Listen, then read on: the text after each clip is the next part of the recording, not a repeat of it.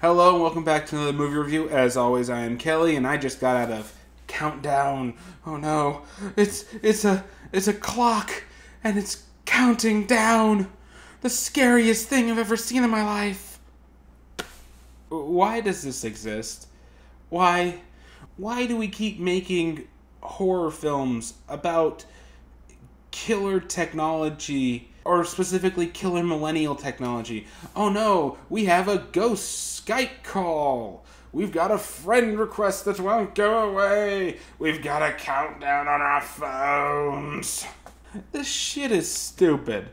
And this movie is just as stupid as any of those. And uh, oddly enough, it's just. I was bored out of my brains in this. It's just dumb. This is really dumb. Okay, I shouldn't go into it, you know, completely wanting to bash its brains in because it has so little of those that it needs every single cell it has. There is a couple of things I can say positive about this movie, and I should probably just start with those. The one really good thing I will say about this movie is that the two leads are trying really hard to make crap material work, and occasionally they do. Occasionally they take this really shitty writing, and because they've injected their personalities into it, kind of raises up to that level of, oh, I see where you're going with this. I get it now. The two main leads inside of this genuinely feel like they're trying to make this work. They don't want this to stain their resumes for the, all of time, but it might still do that. But other than those two, pretty much the acting in this is pretty bad. So yeah, I can't think of anything else good about this. So let's just go into the bad. First thing you're going to notice really quickly is how bad this writing is. This movie is basically just Final Destination but without any of the clever, you know, where is it coming from? How is it going to kill them kind of thing going on. It's a PG 13 Final Destination, but it feels like they're trying to go for the same kind of comical tone that Happy Death Day went for. And I'll just put this out here right now. One of my biggest regrets in this doing this channel, other than my you know big long hiatus, is that I never actually got a chance to review Happy Death Day One. I went to two other movies that week. I can't even remember what they were, but they were just boring and garbage. I think one of them was The Free State of Jones, actually, which was just shit. Happy Death Day is one of the most fun horror experiences I've really ever had. I bought that DVD for like five bucks on a whim because people started saying, "Oh yeah, no, it's enjoyable. You should go watch it." I watched it and I was just like, "Why didn't I see this earlier?" And in theory, trying to model the same type of semi comical tone with horror elements that Happy Death Day did in a Final Destination esque scenario, that could work in theory. But the writing in Countdown is so insipid that all of the jokes that they use inside of this feel like they were curved from somebody's YouTube comment section. They are very mean spirited. They are genuinely not funny, but they're that kind of douchey not funny where you can tell the person who said it is really fucking proud of that line. But it's not funny. It's, if anything, offensive. Hell, they even throw in a joke at a guy who thinks the Holocaust was fake and say, yeah, no, we can totally download this app on his phone and let him die. It's perfectly fine. Again, I see where you're going with that, but you just cursed a guy to eternal torment and pretty much the worst death imaginable, or at least the worst afterlife imaginable, because he's a shitty person. Definitely sounds like cancel culture, doesn't it? Okay, that joke was probably going too far, but it's just. It's shit like that.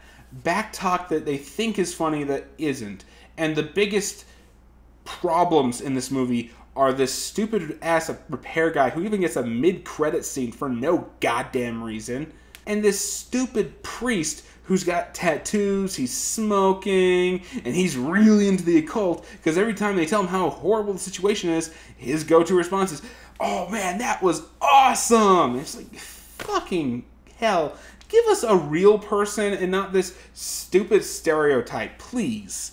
Again, comparing it to Happy Death Day, when they went into those stereotypes, they genuinely had fun with them and they usually humanized them by actually showing how they got to that. The main character is that really douchey, preppy, slutty, you know, uh, person, but it's because she's on a self destructive path because she can't get over her mom's death. And over the course of the repeats, she sees how she's turned into such a horrible person that she doesn't want to be anymore. It's part of a character journey. None of that in this. In fact, it's, you know, murder's fine as long as it's a rapist. Because fuck him. And yeah, that's the second part of this problem is there's a lot of really, really stupid tangents in this movie that are clearly just in there because they're topical. The big one being Me Too. We've got ourselves a raping doctor who then says that the girl came on to him to get her in trouble and cover his ass, even though I'm pretty sure we can determine the cameras. You did this. And we don't even need to look inside the actual room. I mean, just based on how things were going, the guy, how he acted, the fact that she tried to go to you first and you know it, you stupid fucking nurse. It's just bad. It is just pointless. And it kind of gives itself a pat on the back because at the end of this movie, the guy apparently goes to jail. And he's got three women who are confessing all this other stuff. Where is this coming from? Again, if you're meant to hate this guy, I'm sorry, I hate her because she's still trying to commit murder to save her own ass. The main chick is trying to murder him because the whole way to, you know, fix the situation is prove that the devil is a liar and that the countdown is wrong. So someone who downloads this app and it says they're going to live for 90 years, you know, kill them. Devil's a liar, null and void, everyone's freed which completely goes and spits in the face of your end credits scene, by the way, because um, yeah, he should have been perfectly fine. There's no reason that the ghost or devil or demon, whatever the hell this thing actually is, because they don't even fucking explain any of it, should go after him. They broke the chain. Everyone who downloaded the app is no longer bound by the said app, turning it into a literal number generator. you know, it just it's pointless. Just saying. And just one more little rock on the pillar of this thing. The worst kind of horror films are the ones where you can see an easy out, like right out of the gate. You know, it's just one of those moments where it's like, wait, why didn't you do that? Why didn't you do that? Wait, wait, if you go, no, you can do that right now why are you waiting to do that right now? And guess what? They just did that. The easy out of this, obviously, is one person kills himself and they save hundreds of thousands of people who download this app. That's all they have to do. It's really all they have to do. And they go through some convoluted, you know, protection seals and crap like that. And then the guy walks out of it like a fucking idiot. But it's at the same time, you're just like sitting here.